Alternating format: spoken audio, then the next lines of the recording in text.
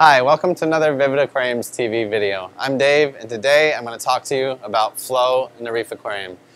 question I get from many customers throughout the years is, well, how do I know how much flow to give my corals? I mean, it says low flow, medium flow, high flow. What is that? How do I know? Well, it is kind of difficult to explain precisely, but the first thing to consider is what types of corals you're keeping. If you're keeping soft corals or LPS corals, usually you want low to moderate flow. If you think about the size of the aquarium, I would say turning over the volume of the aquarium about 10 to 15 times an hour will be a lower flow. So if you have a 100 gallon tank, that means you have about 1,000 to 1,500 gallons an hour flow.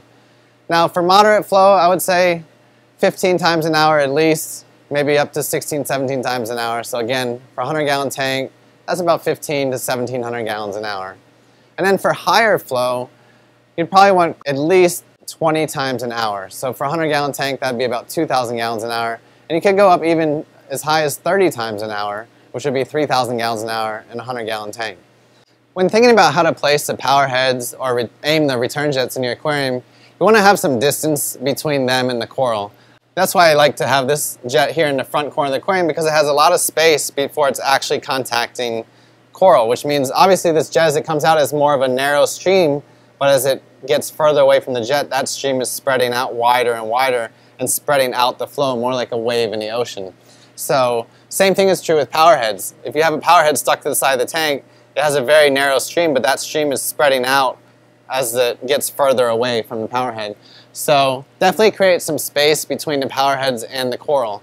If you have a power head you want to put on the back glass of the aquarium, you can aim it actually at the front glass. Say if I had one in the back corner and it hits here, it's going to hit here and bounce and swirl and go back against the reef. That way it's not directly hitting the corals too hard, but it's definitely creating water movement throughout the aquarium. Another thing to consider is the placement of the coral. If you have a coral, you don't want the flow blowing straight at it, especially if the jet is very close. But a lot of times just overhead is good.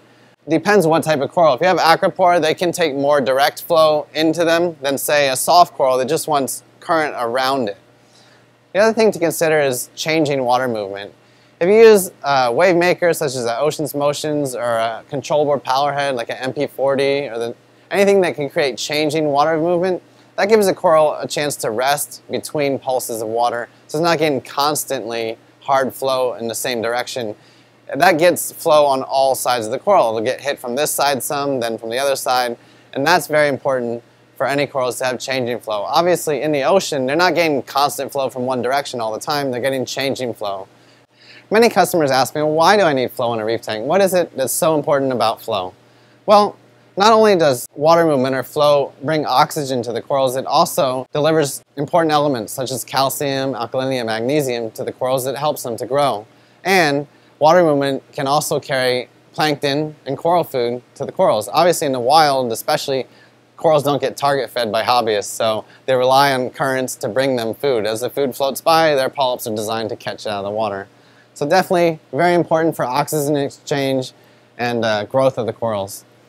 This hobby and definitely mastering the flow takes a lot of technique and fiddling around, but that's a lot of the fun of it. So have fun with it guys and hopefully this is helpful. Thanks.